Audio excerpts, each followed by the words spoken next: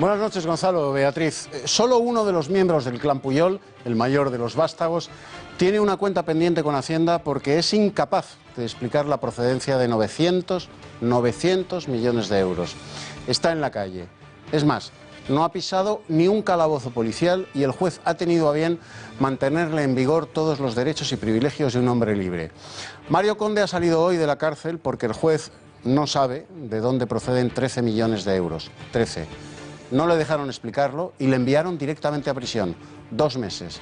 Es más, es la primera vez que para salir de prisión se deniega un aval hipotecario, como le han hecho también a Mario Conde, para hacérselo aún más difícil y evidenciar aún más, si cabe, las agraviantes diferencias de trato según sea el perfil del justiciable, que la justicia española dispensa a sus víctimas.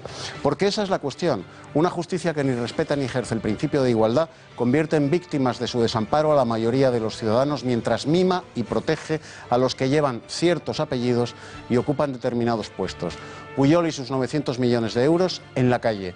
Mario Conde, al que se han negado a escuchar dos meses en la cárcel.